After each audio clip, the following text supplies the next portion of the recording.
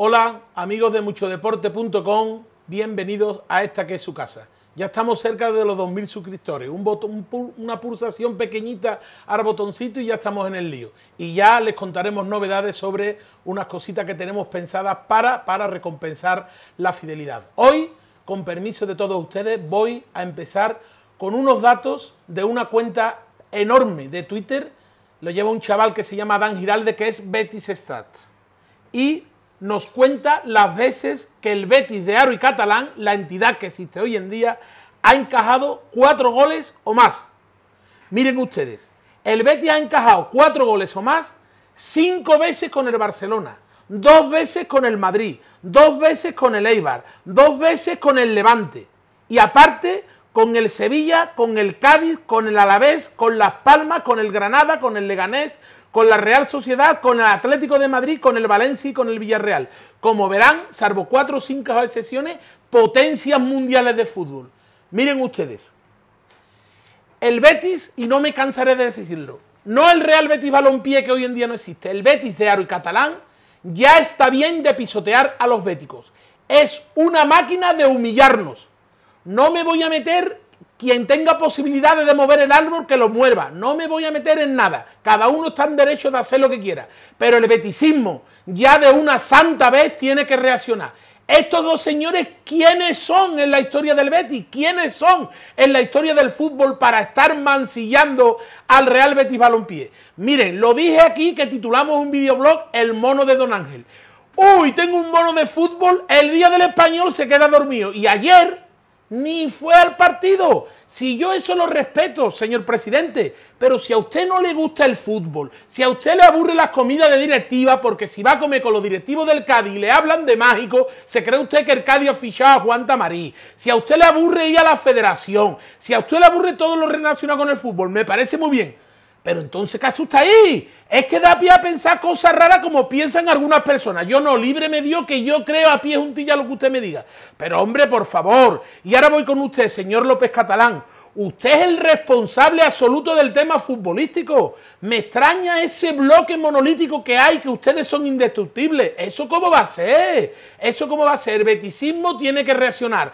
¿Dónde iba usted con ese portero? ¿Dónde iba usted con esos centrales? ¿Dónde iba usted echando al mejor de la historia para ponerse usted? Hombre, por favor, si eso estaba cantado, si se lo venimos diciendo en octubre.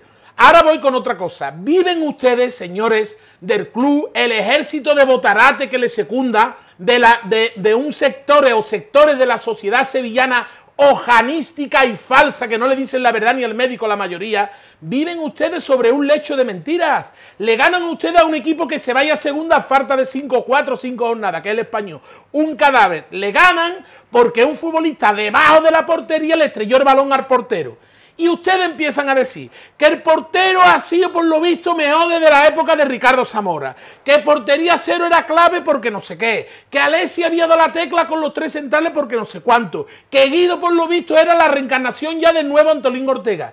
Pero llega la realidad, señores, se enfadan ustedes.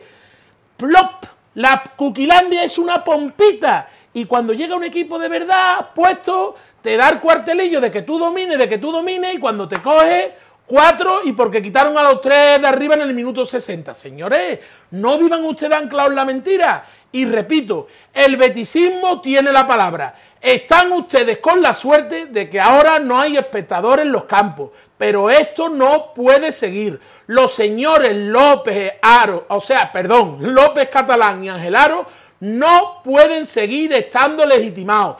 Ellos no tienen la mayoría de las acciones y el secuestro del que fue Real Betis Balompié y en la actualidad es Betis de Aro y Catalán no puede continuar. Y me pongo yo el primero, todos los béticos seremos culpables de que esto continúe, porque la caída solo la sostuvo un año Serra. Miren, miren el entrenador, que decían que aquí tenía mérito, el ridículo espantoso que está haciendo a la vista de toda España. Vean lo que va a conseguir en el Barcelona.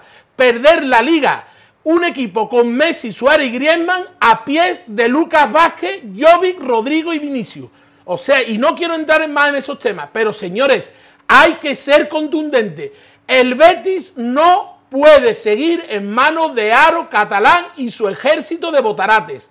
El beticismo tiene que hablar. Me da igual quien tenga acciones, quien no tenga acciones, quien la deje tener. Los béticos de la calle tenemos que hacer algo. Y aquí, este humilde bético está a la disposición del que mande para ejercer las acciones que sean por las buenas o por las buenas, lógicamente.